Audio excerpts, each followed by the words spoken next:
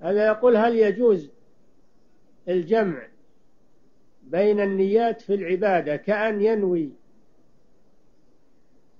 كأن ينوي القضاء وصيام شوال؟ لا ما يصلح هذا. ما يجوز إنه إنه يصوم ناوي صومين صوم ستة أيام من شوال وصوم قضاء. لا يصوم قضاء يصوم بنية القضاء فقط. وإذا انتهى القضاء وشوال باق فيه أيام يصوم ست من شوال. صوم القضاء على حدة ويصوم الست من شوال على حدة ولا يجمع بينهما.